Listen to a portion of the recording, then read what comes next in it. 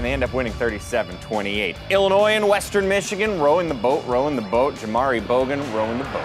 189 yards and two scores. However, a little bit later on, Illinois decided it was time to play America's favorite game.